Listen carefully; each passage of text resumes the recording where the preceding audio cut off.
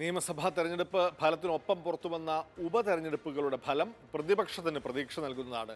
ബീഹാറിൽ R J ഡിയുടെ seat പിടിച്ചെടുത്ത് ബി ജെ പി നേട്ടമുണ്ടാക്കിയപ്പോൾ യു പിയിൽ തിരിച്ചടി നേരിട്ടു. രാജസ്ഥാനിലും ഛത്തീസ്ഗഡിലും കോൺഗ്രസ് മുന്നേറി. അഞ്ച് സംസ്ഥാനങ്ങളിലായാണ് ആറ് നിയമസഭാ മണ്ഡലങ്ങളിലും ഒരു ലോക്സഭാ സീറ്റിലും ഉപതെരഞ്ഞെടുപ്പ് നടന്നത്. മുലായം സിംഗ് യാദവിന്റെ മരണത്തെ തുടർന്നാണ് ഉത്തർപ്രദേശിലെ മെയിൻപുരി മണ്ഡലത്തിൽ വോട്ടെടുപ്പ് വേണ്ടി വന്നത് മുലായമിന്റെ മരുമകളും മുൻ മുഖ്യമന്ത്രി അഖിലേഷ് യാദവിന്റെ ഭാര്യയുമായ ഡിംപിൾ യാദവായിരുന്നു സമാജ്വാദി പാർട്ടി സ്ഥാനാർത്ഥി. സോഷ്യലിസ്റ്റ് നേതാവും ഉത്തർപ്രദേശ് മുഖ്യമന്ത്രിയുമൊക്കെയായിരുന്ന മുലായം സിംഗ് യാദവിന്റെ ഓർമ്മകൾക്ക് മെയിൻപുരി വോട്ട് ചെയ്തുവെന്ന ഫലം വ്യക്തമാക്കുന്നു. ഡിംപിൾ യാദവ് ജയിച്ചത് രണ്ടര ലക്ഷത്തിലധികം വോട്ടുകൾക്ക്. ഉത്തർപ്രദേശിൽ സമാജ്വാദി പാർട്ടി നേതാവ് അസം ഖാന്റെ തട്ടകമായ രാംപൂരിൽ ബി ജെ പിയുടെ ആകാശ് സക്സേന മുപ്പത്തി മൂവായിരത്തിലധികം വോട്ടുകൾക്ക് എസ് പിയിലെ മുഹമ്മദ് അസീം രാജയെ പരാജയപ്പെടുത്തി. മുസ്ലിങ്ങളെ വ്യാപകമായി ഈ മണ്ഡലത്തിൽ വോട്ട് ചെയ്യാൻ അനുവദിച്ചില്ലെന്ന വ്യാപകമായ പരാതി ഉയർന്നിട്ടുണ്ട്.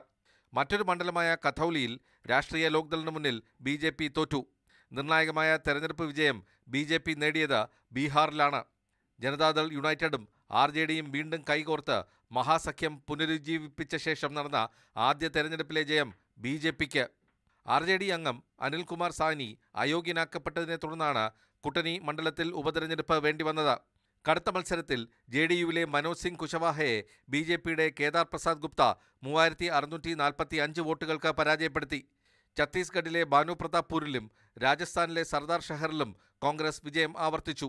സംസ്ഥാന സർക്കാരുകളുടെ പ്രവർത്തനത്തിനുള്ള അംഗീകാരമെന്ന മുഖ്യമന്ത്രിമാരായ ഭൂപേഷ് ബാഗലും അശോക് ഗെഹ്ലോട്ടും പ്രതികരിച്ചു. ഒഡീഷയിലെ പദംപൂർ സീറ്റ് ബിജു ജനതാദൾ നിലനിർത്തി. മാതൃഭൂമി ന്യൂസ് ഡൽഹി.